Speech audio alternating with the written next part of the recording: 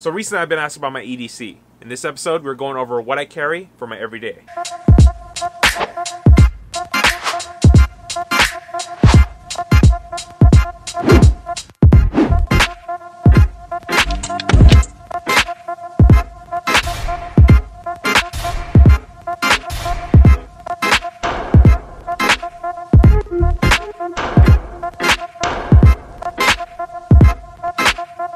So first off, I just gotta say welcome back to anybody who has subscribed to me that watched my first video, which was my CCW video. So a few things I gotta get straight. Do not call your DOJ, call your sheriff's office and make an appointment for your CCW. So this little quick video is gonna be my everyday carry, what I have on me, the reasons. Let's get into it. So first off, I'm not gonna just talk about the handgun I carry. I'm actually gonna get into some of the other stuff that I do carry, which is very prominent to this. So a big one for me is this CRKT CEO EDC flipper. As you saw, it does have an IKBS ball bearing pivot, liner lock, and glass reinforced nylon handle. For me, I was always using my Winchester, but it did get tired out a little bit. A lot of use in it. So in this case, I've had this for about a couple months now and it's held up pretty good. One thing to get over is actually the slimness of the handle itself. But as you can see the shape, you can do a little tricks here and there if you're bored flip it around and yes it does flip like I was talking about. So for me, that's a plus, and yes, it does come sharp. Another piece into my EDC, which is my wallet itself. And in this case, I did pick up a Ridge wallet, which is something I never thought I would actually like, and it's been a heaven sent. It can hold up to 12 cards. It's got an RFID blocker on it. It's got the money clip right in the back. Lifetime warranty. Gotta love that. But before we get into my CCW, I gotta talk about this, which I was carrying even before I got my CCW permit,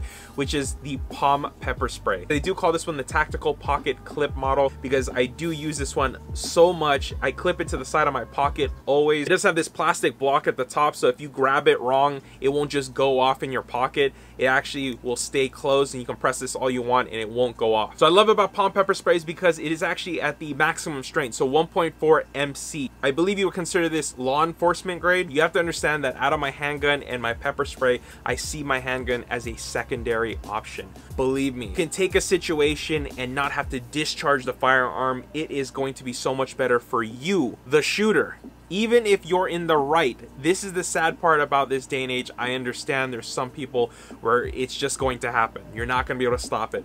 But in this case at least i have this on me. I can sum up a situation and follow through in the way that i believe is fit. This is where i get into my everyday carry handgun which is the glock 22 i do have a 9 millimeter XD, but this is my go-to handgun of choice. I do carry appendix, and this is We the People IWB Kydex carbon fiber custom holster. This is actually for a Glock 17. So if you guys know about the Glock 22, 40 cal, and the Glock 17 9mm, these are actually interchangeable because the size is completely the same. This is for a Streamlight, but I do have an Olight on it.